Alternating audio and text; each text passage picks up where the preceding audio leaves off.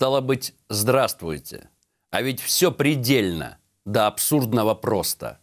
Если мировые цены на нефть падают, значит падают доходы того, кто эту нефть продает. И тот, кто продает, просто не хочет или не может соглашаться с неизбежным снижением своего персонального уровня жизни. И поэтому недостающие деньги он возьмет с тех, с кого может, то есть с нас. С кого это с нас? А я скажу. Со всех нас, имеющих в кармане российский паспорт или свидетельство о рождении. Со стариков, детей, юношей, девушек, с молодых и не очень мужчин и женщин. В России, которая делит первое место с Саудовской Аравией по уровню добычи нефти, только за 9 месяцев этого года цифры на ценниках на АЗС взлетели на 11,5%. А это значительно выше реальных темпов инфляции в 8%. При этом за последние три месяца стоимость нефти упала почти на четверть и еще упадет. Саудиты пообещали Бараку Обаме держать цены на нефть в 80 долларов за баррель. Но что же толкает внутренние цены вверх?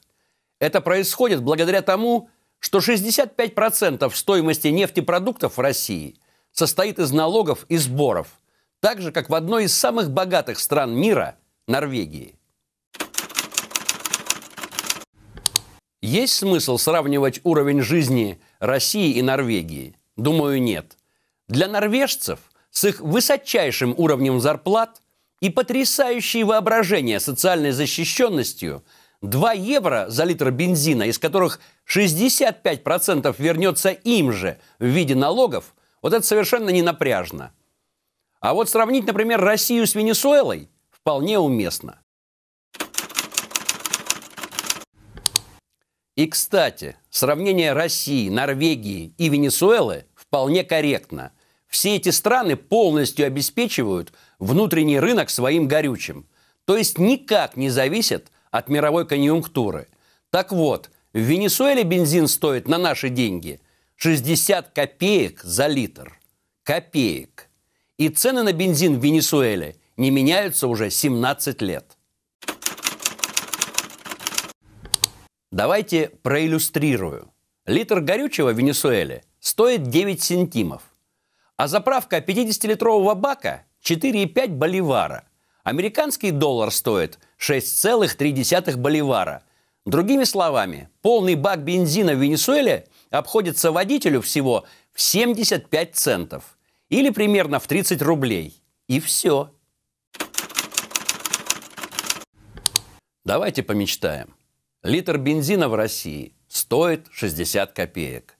С учетом того, что только транспортные расходы – это минимум 30, а, как правило, 40% от стоимости любого конечного продукта на наших прилавках, то посчитайте, все минимум на треть дешевле, плюс 60 копеек.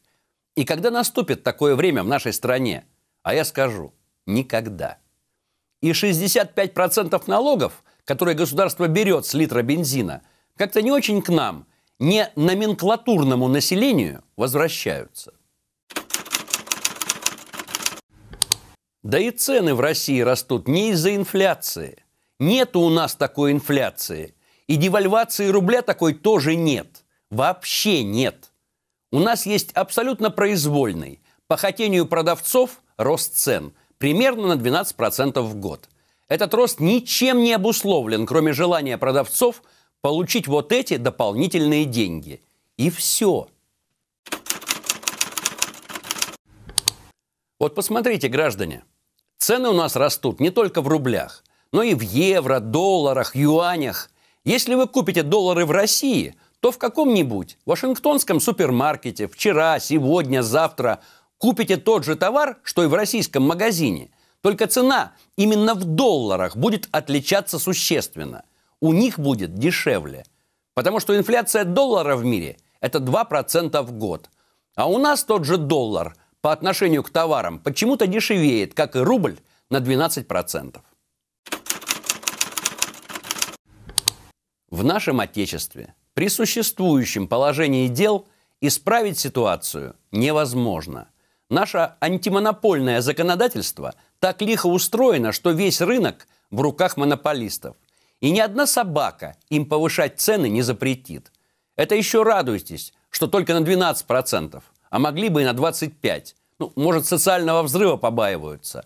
Потому что у нас между властью и бизнесом-монополистом нет большой разницы.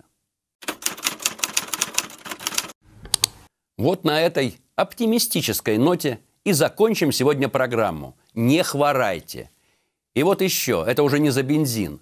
Почему-то вспомнился французский мыслитель и философ Шарль Луи Монтескье. Каждый народ имеет то правительство, которого он заслуживает. К чему бы это?